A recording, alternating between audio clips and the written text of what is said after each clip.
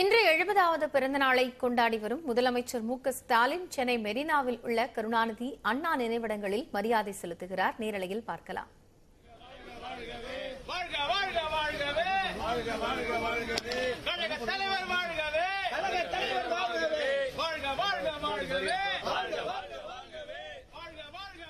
தமிழக முதலமைச்சர் மு ஸ்டாலின் தன்னுடைய எழுபதாவது பிறந்த நாளை இன்று கொண்டாடுகிறார். இதையொட்டி இன்று மாலை பிரம்மாண்ட பொதுக்கூட்டத்திற்கு ஏற்பாடு செய்யப்பட்டிருக்கிறது. பல்வேறு முக்கிய தலைவர்கள் இதில் பங்கேற்க இருக்கிறார்கள். இந்த பிரம்மாண்ட பொதுக்கூட்டம் அரசியல் களத்தில் மிக முக்கியமாக பேசுபொருளாக மாறியிருக்கிறது. இந்த நிலையில் இன்று காலை மெரினா கடற்கரையில் முன்னாள் முதலமைச்சர் கருணாநிதி மற்றும் அண்ணா நினைவிடத்தில் முதலமைச்சர் மு ஸ்டாலின் தற்போது மரியாதை செலுத்தி வருகிறார். உடன் மூத்த நிர்வாகிகளும் அமைச்சர்களும் தற்போது இருக்கிறார்கள். கூடுதல் தகவல்களை செய்தியாளர் செல்வகுமாரிடம் கேட்கலாம். செல்வகுமார் விவரங்கள் என்ன?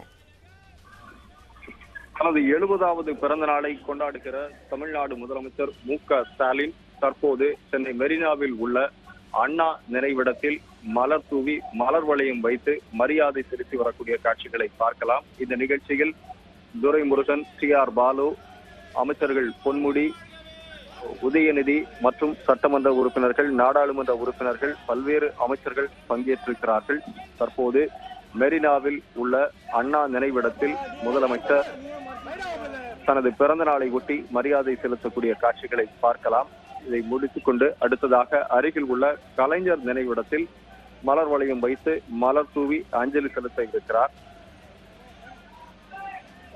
அதைத் தொடர்ந்து அண்ணா அறிவாலயத்தில் அவர் தொண்டர்களை சந்தித்து வாழ்த்து பெறவிருக்கிறார் அந்த நிகழ்ச்சியில் வரக்கூடிய அனைவருக்கும் மரக்கன்றுகள் கொடுப்பதற்கும் ஏற்பாடு செய்யப்பட்டிருக்கிறது. தற்போது அண்ணா நினைவிடத்தில் மலர் வளையம் வைத்து அஞ்சலி செலுத்திய பின்னர் மரியாதை செலுத்திய பின்னர் தற்போது கலைஞர் நினைவிடம் நோக்கி முதலமைச்சர் மு க ஸ்டாலின் சென்று கொண்டிருக்கிறார். இதில் சட்டமன்ற நாடாளுமன்ற உறுப்பினர்கள் பலரும் பங்கேற்றிருக்கக்கூடிய காட்சிகளையும் பார்க்கலாம்.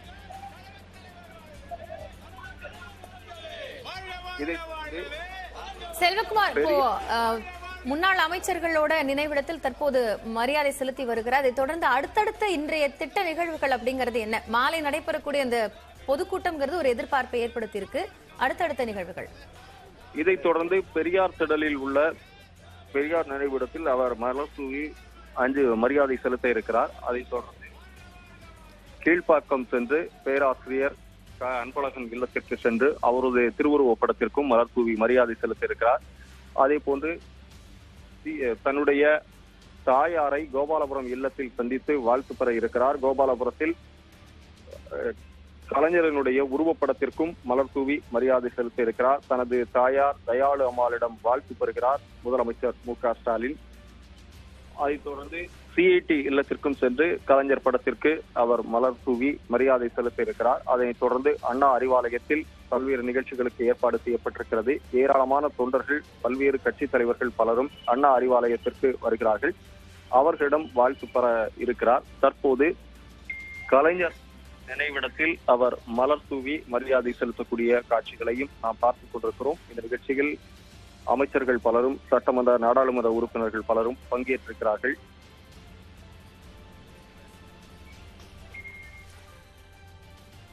மெரினாவில் அண்ணா மற்றும் கலைஞரின் நினைவிடத்தில் தற்போது மரியாதை செலுத்தி முதலமைச்சர் மு ஸ்டாலின் அங்கிருந்து வெளியில் வந்திருக்கிறார்.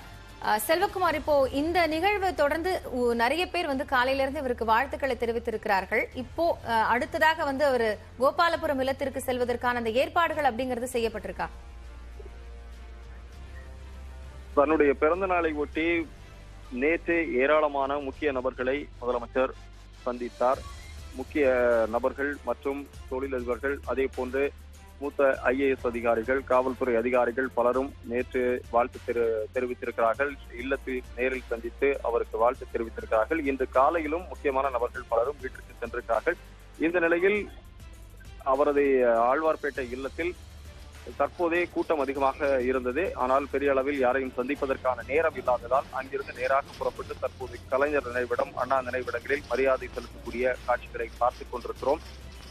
அறிவாலயத்தை பொறுத்தமட்டில் ஏராளமான அளவுக்கு தொண்டர்கள் இப்ப காரையில் இருந்தே வரத் தொடங்கி இருக்கிறார்கள் கலைஞர் அரங்கத்தில் நடைபெறும் நிகழ்வில் முதலமைச்சர் கலந்து கொண்டு தொண்டர்களுடைய வாழ்த்துக்களை பெற இருக்கிறார். எனவே அங்கும் ஏராளமான அளவுக்கு போலீஸ் பாதுகாப்பும் அளிக்கப்பட்டிருக்கிறது. கோபாலபுரம் இல்லத்திற்கும் அதே போன்று சிஐடி காலனி இல்லத்திற்கும் சென்று தனது தாயாரிடம் வாழ்த்து பழகியிருக்கிறார். எனவே ஒட்டுமொத்தமாக இன்றைக்கு பல்வேறு நிகழ்ச்சிகளுக்கு ஏற்பாடு செய்யப்பட்டிருக்கிறது. மாலையில் நடைபெறக்கூடிய நந்தனத்தில் நடைபெறக்கூடிய நிகழ்ச்சியில் காங்கிரஸ் கட்சியினுடைய தலைவர் மல்லிகார்ஜுன கார்கே உள்ளிட்ட பல்வேறு கட்சி தலைவர்கள் முக்கிய பிரமுகர்கள் பங்கேற்கிறார்கள் மிகப்பெரிய அளவில் ஒரு மாநாடு போல ஒரு பொதுக்கூட்டத்தை நடத்துவதற்கும் ஏற்பாடு செய்யப்பட்டிருக்கிறது. அதே போன்று அவரது எழுபது ஆண்டு கால அரசியல் பயணத்தை எடுத்து காட்டுகிற வகையில் கடந்து வந்த பாதையை நினைவு கூறுகிற வகையில் பல அரிய புகைப்படங்களினுடைய கண்காட்சி ராஜா அண்ணாமலை மன்றத்தில் வைக்கப்பட்டிருக்கிறது. இது நேற்று தொடங்கப்பட்டது. மார்ச் பனிரெண்டாம் தேதி வரை இந்த புகைப்பட கண்காட்சிக்கும் ஏற்பாடு செய்யப்பட்டிருக்கிறது. இது பொதுமக்களினுடைய பார்வைக்கு அனுமதி வழங்கப்பட்டிருக்கிறது. எனவே ஒரு ஒட்டுமொத்தமாக இந்த எழுபதாவது பிறந்த நாளை மிகச்சிறப்பாக கொண்டாடுவதற்கு கட்சியினர் ஏராளமான நிகழ்ச்சிகளையும் ஏற்பாடு செய்திருக்கிறார்கள். எனவே ஒட்டுமொத்தமாக இன்றைக்கு அவர் அவருடைய பிறந்த நாள் என்பது மிகவும் கவனிக்கத்தக்கக்கூடியதாக இந்திய அளவில் அரசியல் பார்வையாளர்களால் மிகவும் உற்று நோக்கக்கூடிய ஒரு நிகழ்வாக மாறியிருக்கிறது காயத்ரி.